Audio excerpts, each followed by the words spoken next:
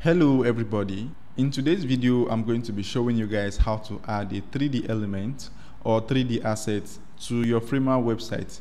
We're going to be using Spline to get our 3D assets and Spline has a lot of free 3D assets that we can use. So without further ado, let's get started. So guys, adding a 3D asset to your Framer website is actually very easy. And you can achieve this with these simple steps. First, you have to have the landing page or the website where you want to attach your 3D and you must have created a section where you want to attach the 3D. And for me, I'm going to be using this particular landing page that I got from the free templates on Framer. You can go to the template section and you can get a free template um, if you want to just follow along with the video.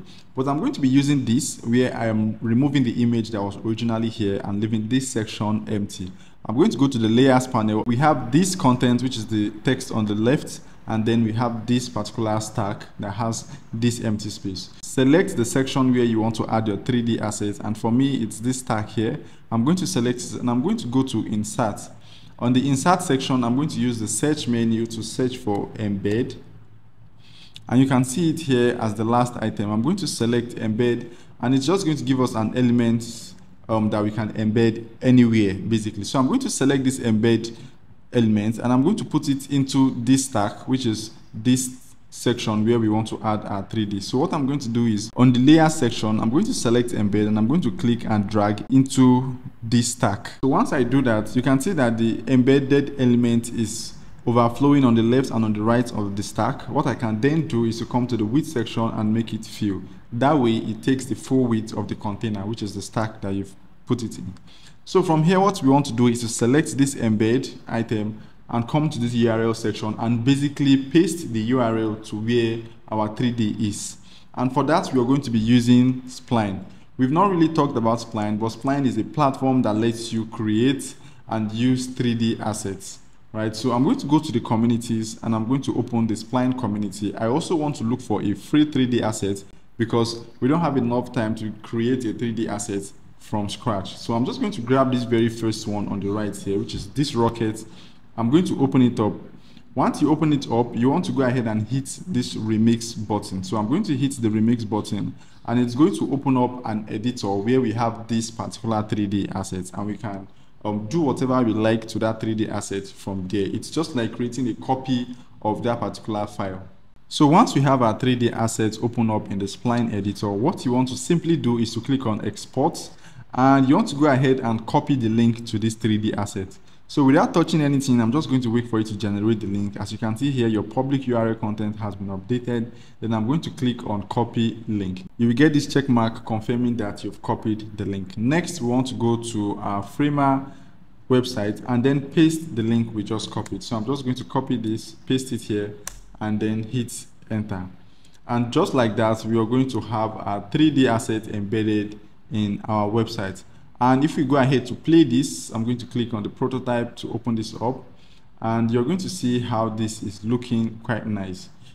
Then you can you can see that you can play around the 3D asset right from Framer, which is super nice. But if you notice, you're going to see that this particular 3D asset is quite big and we want to like zoom out a little bit more. What we can then do is to go back to our spline editor.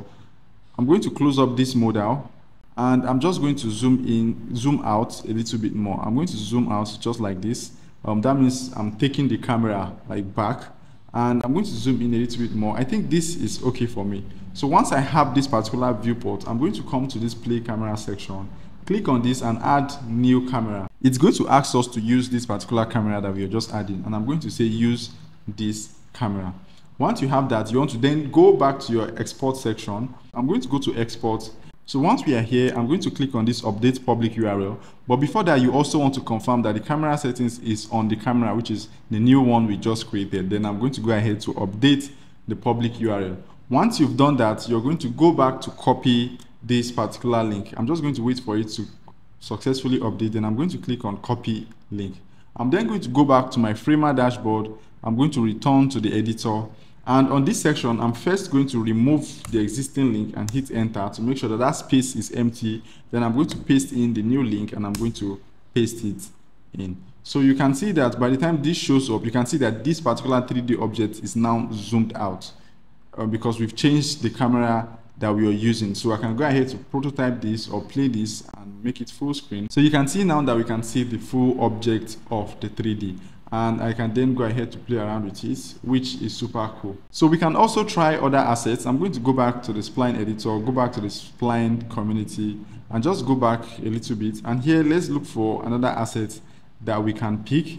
I'm going to select this one here. I'm going to click on this, and it's going to open up. As usual, we're going to go to remix. So here, once it is opened up, just like the way we do, we export this, and then we copy the link but we are going to wait for it to completely generate the link so that we can easily copy it. Then we are going to copy this from here.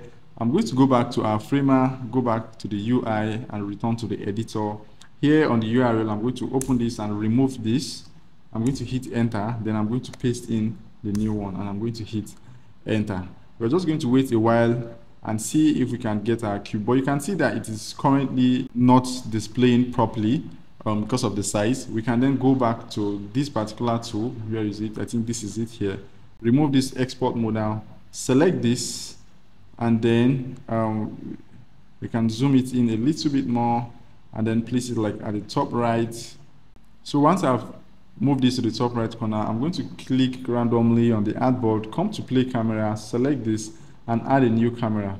Once I do add a new camera, I'm going to say use this camera and then I'm going to export this and I'm going to update the public URL. I'm going to copy the public URL, go back to uh, our framer tool. I'm going to take this out, click on enter, then paste the new one and hit enter. So you can now see that this is placed properly on our hero section. I'm just going to increase this a little bit more and I'm going to hit on the prototype tab. I'm going to set this to full screen just so that we see this properly. Now you can see this 3D asset looking nice. You can go around to play with it, um, just like this. So guys, this is it. This is how you can embed a 3D asset into your Framer website. I hope you've been able to learn a thing or two. Please do not forget to like, subscribe, and turn on the notification bell if you find any of my videos helpful. And bye for now. I'm going to see you guys in my next video.